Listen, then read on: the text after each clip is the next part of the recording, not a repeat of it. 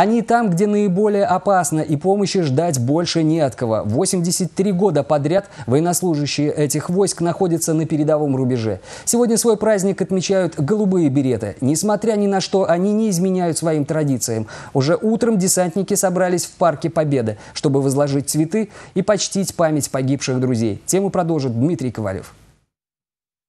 Желтый парашют на фоне голубого неба. В этот день флагами ВДВ украшены не только боевые машины, но и дорогие иномарки. Раз в году десантники облачаются в военную форму и одевают голубые береты – неизменный символ этих войск. Войска дяди Вася. Именно так сами десантники с юмором расшифровывают аббревиатуру ВДВ. Но доля смысла в этой шутке есть. 25 лет, вплоть до 1979 года, этими войсками командовал Василий Филиппович Маргелов. Это и есть тот самый дядя Вася. Военнослужащие называют его десантником номер один.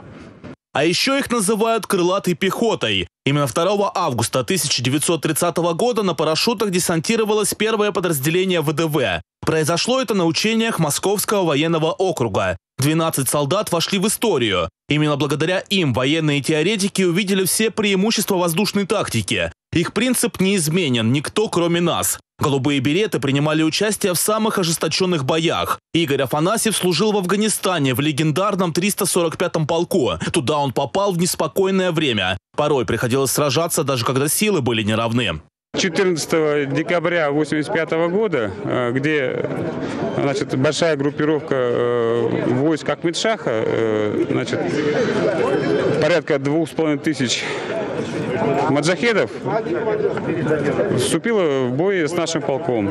И то полк у нас был неполный, порядка, значит, в общей сложности было где-то пять рот.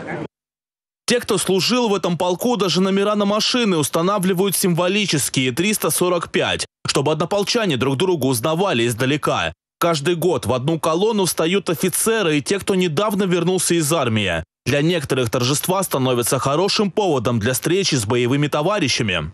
Каждый год встречаем 2 августа. Это единственный праздник, который можно нормально всем собраться, всем, кто служил вместе. Потому что все на работе, все кто где, кто уезжает за заработок, кто куда.